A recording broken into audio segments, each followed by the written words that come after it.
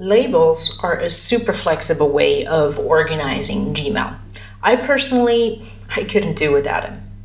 I'm Chanel Greco from Saperis, and in this video, I'll give you some tips and ideas on how you can work with labels in Gmail.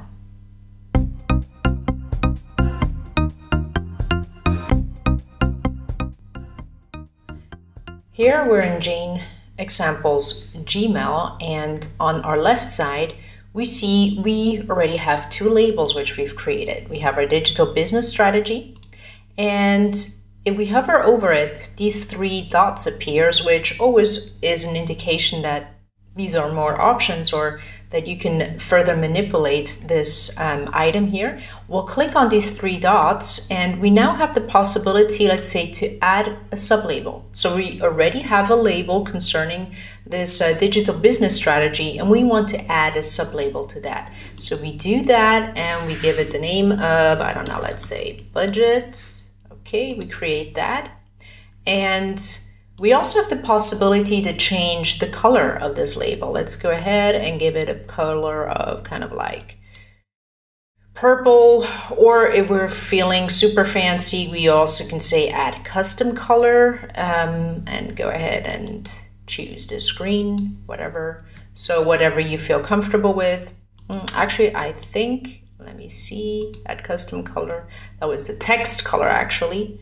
Um, I wanted the label and so there you go. Apply that. Okay, that's better. That's what we wanted to do. Now what we see is that we also, let's click that open, we, we have some more labels here already. Oh, there you go. This is what I wanted to show. You can create new labels here using this but Let's say test label and we can also choose to nest a label under, let's say, current project. We'll do that. So then it should pop up here. Okay, very good. So far, so good. What we also can do is we can manage the system labels. So the system labels that Google already created for us, we can go, let's say, and hide them if we wanted to. We're now here in the settings under labels and what we first see are the system labels. So we could, theoretically, if we wanted, we could hide the start label.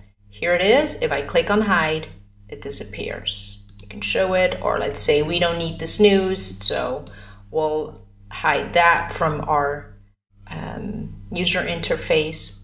What we cannot do with system labels is, for example, nest custom labels to it. So we can either choose to show or hide system labels, but we can't um, altogether delete them or edit them in any other way.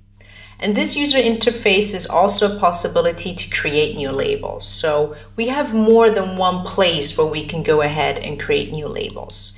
We can say test one and can edit that from here if we want to. Um,